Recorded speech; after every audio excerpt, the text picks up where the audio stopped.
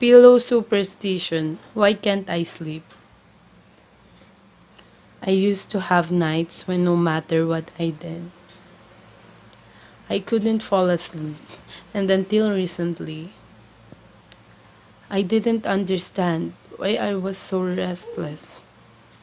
I know this happens to everyone, but at times I felt like eyes were staring at me, causing me to hide under my bed covers in fear.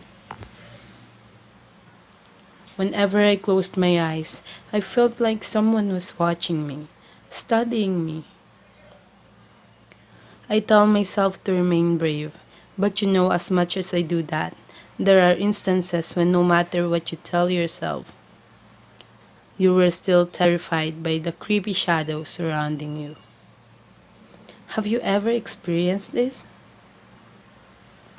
If yes, you should know that the reason you're feeling these weird sensations is because someone is thinking about you or probably visiting you.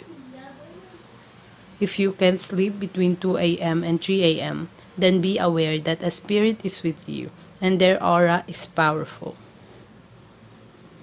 The question to be asked is how do you fix this quickly so that you can sleep deep and sound?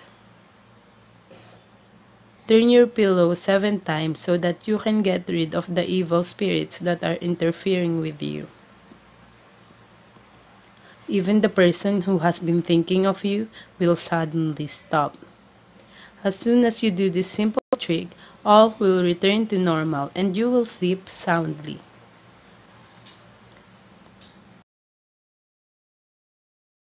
Thank you for watching this video. Please like and subscribe for more videos like this.